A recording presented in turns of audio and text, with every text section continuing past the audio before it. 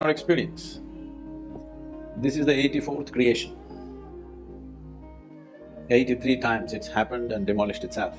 This is the eighty-fourth time. It will happen for one hundred and twelve times. And the final one that happens will not be physical in nature. So it is based on this that you have one hundred and twelve chakras and eighty-four are the most important.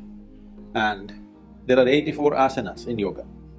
The basic asanas are eighty-four in number because when you want to do bhuta shuddhi, you want to cleanse the elements. What are you cleansing it of is the previous memory.